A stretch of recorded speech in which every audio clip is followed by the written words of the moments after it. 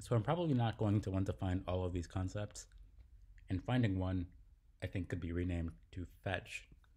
So I'm going to do that.